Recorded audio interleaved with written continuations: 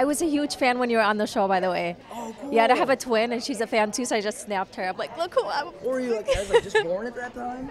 No, no, no. I'm a lot Like older than you think. 12 years ago. Very All cool. right, let's talk about tonight. What, who like really stood out for you tonight? Uh, I'd have to say so. Uh, last week, Bailey and Mariah stood out, but tonight, I again they stood out again, and Mariah really blew me away. Mariah had this. It was the last performance, and she had this amazing performance, and I felt like I actually got to know her more through that. So I think Mariah's performance tonight, and again, Bailey's constantly been amazing. So they have a great thing going on. Yeah. That's awesome. And then you guys talk a lot about partnership and the chemistry because as viewers we're like, oh my god, they did so good. But you guys like can pick out when the chemistry is not working.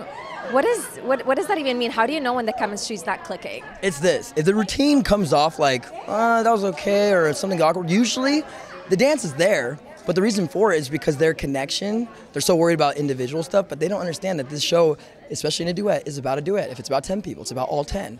You know, it's only a solo that you should be able only thinking about, I guess, what you're doing. But I'm telling you, that chemistry is everything. All the Totally. is. scientists are like, yeah. Stupid. I have no neck. Why do you? What makes the um, competition a little bit more challenging every week? Is it getting out of their element? Is it the music?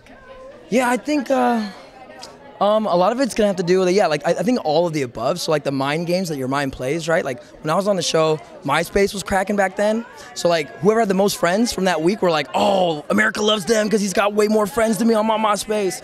And now they have like Instagram and stuff. So they're probably like, just don't overthink that. If you don't overthink the stuff that goes around what's happening, you just worry about enjoying yourself right now.